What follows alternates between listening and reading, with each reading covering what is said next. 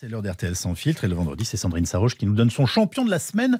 Bonjour Sandrine. Bonjour à tous, bonjour Yves. Je ne sais pas vous, mais moi, je suis excitée comme jamais. Euh, demain, c'est le grand jour.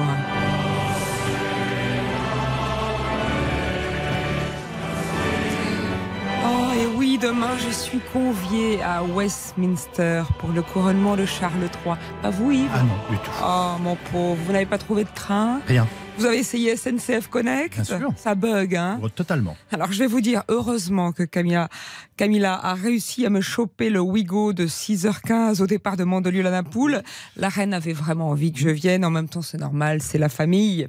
Figurez-vous que Charles, Charles Windsor, est un cousin éloigné de ma mère. Ah. Son père, Philippe Mountbatten, était à mon baptême. Pendant des années, le cousin Charlie nous a royalement ignorés et là, comme par hasard, Oui. Depuis que j'officie dans la matinale RTL, le gars n'arrête pas d'envoyer des messages sur le groupe WhatsApp familial. Alors évidemment que ça fait plaisir, d'autant que sur les quelques milliers d'invités triés sur le volet, il n'y aura que trois Français. Emmanuel Macron, ma mère et moi. Alors j'ai un petit scoop pour vous, chers Ah. auditeurs. Je peux vous dire que le président Macron a prévu de prononcer une courte allocution au cours du déjeuner. Mhm. Un truc simple, hein, Oui. pas trop solennel, pas chichi gratin. Quelques mots bien sentis entre la quiche aux épinards et le trou normand. D'ailleurs, pour réclamer l'attention, il tapera sur une petite casserole.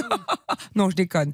Bon. Un texte court et, sur mesure, et, et- et c'est tout naturellement qu'Emmanuel Macron en a confié la rédaction à notre plus grand écrivain contemporain, Bruno Le Maire Oula. lequel ne s'est pas fait prier pour décrire avec fougue les sentiments purs et sincères qui unissent Charles et Camilla.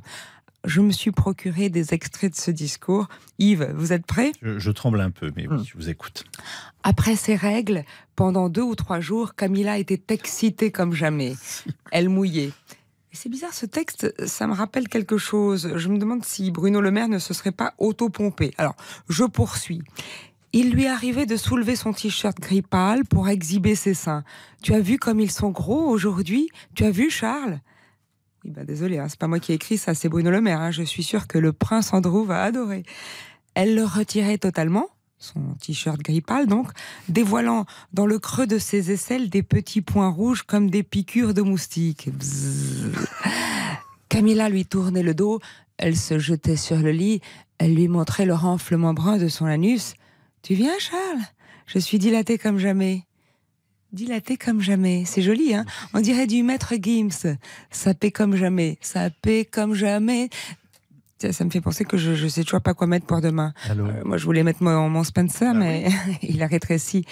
Tant pis, ma mère me prêtera son tailleur channel.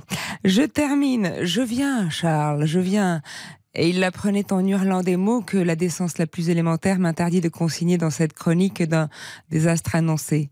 Et c'est là qu'Emmanuel portera un toast et entonnera un vibrant God Save the King. God save our gracious King, long live our noble King. God save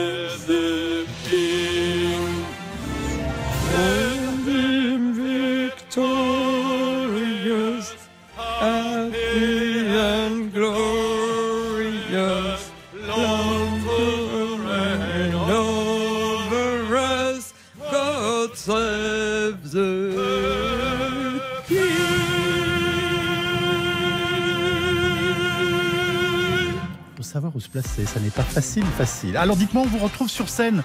Ce sera le 14 mai euh, à Séris et le 16 à Château, chère Absolument. Sandrine. Bonne Bonne journée et bon week-end.